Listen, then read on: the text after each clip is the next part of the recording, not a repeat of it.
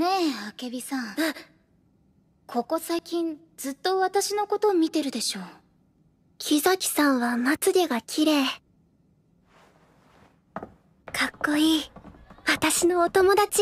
私今度のお休み友達を家に呼ぶ。何？何？一人だよ。そんな勇気まだありません。同い年の子を家に呼ぶなんて初めてで。どう言ったらお家に来てくれるの？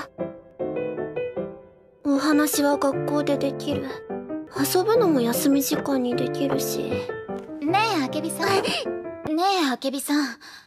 ここ最近ずっと私のこと見てるでしょ。え？み、見てないよ？うん。うん。明日の土曜日お休みじゃないですか。続いて全国の天気予報です。近畿地方から関東にかけて降っていた雨も明日の朝には回復。あ、雨漏りする家ってどう思います？家にいて濡れたら嫌だし。雨漏り直さなきゃ、うちに呼べない。まだ見てる。やっぱり全然それだけじゃないじゃない。あけびさん釣りしたことある？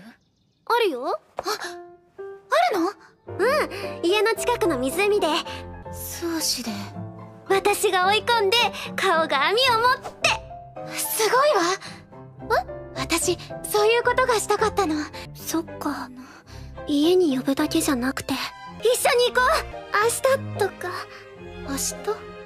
あもしかしてずっと見てたのって。は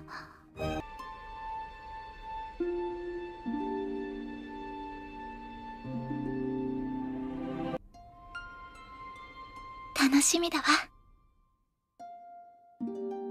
お休みに会う約束。初めての、